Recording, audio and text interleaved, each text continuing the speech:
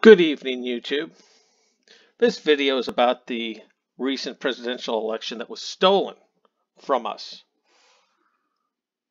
by traitors and foreigners that seek to destroy our republic.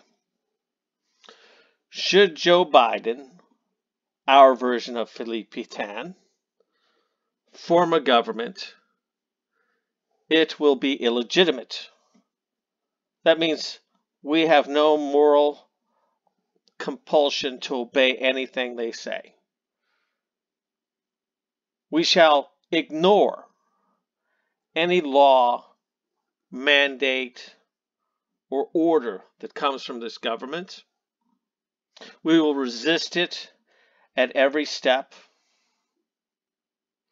We shall shun anyone that supports this government.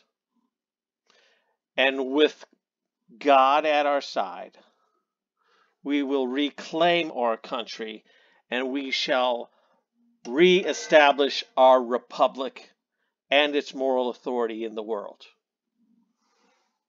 This will be done. All glory to God.